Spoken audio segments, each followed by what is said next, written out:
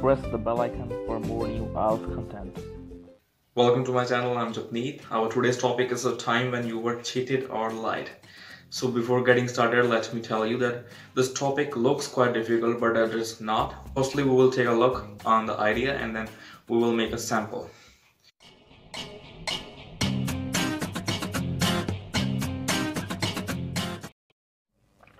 So let me tell you one thing. Today's keyword is going to be much more interesting.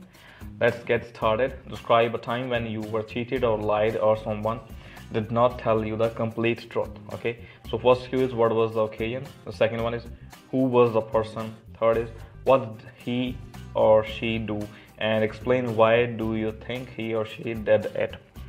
So here the idea is that your cousin's birthday is approaching and you want to gift him a t-shirt with the superman logo. But the thing is the t-shirt is not available in the market so you uh, took help from an online clothing store where the t-shirt was available. But the thing is they were like guaranteeing you that they will give you the t-shirt on the specific date which you want on okay? But uh, uh, they were late so they lied to you okay? So uh, to get acquainted with the full story let's move to the cue card.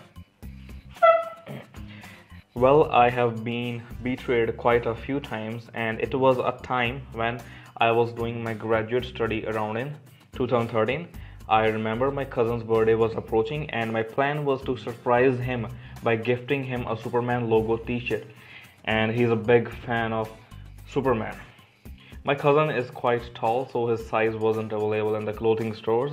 So I decided to order it on shopclues.com, an online clothing store, and decided to send it directly to his place on his birthday.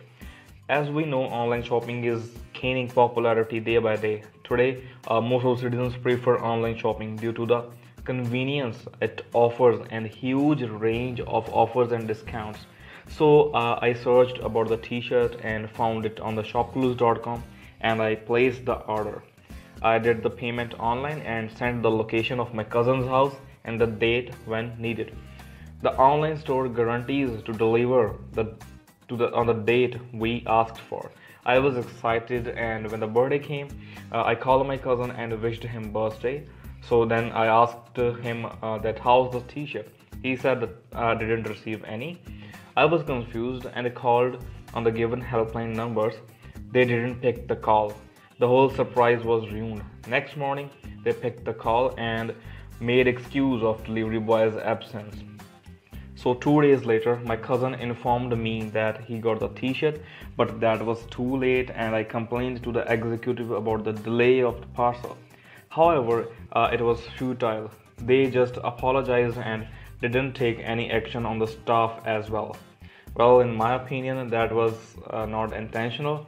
I was quite upset thanks to their poor service. They actually lied and got away with it. That was easy, right? I hope you like it. So please share it with your friends and subscribe my channel if you're new. Thank you.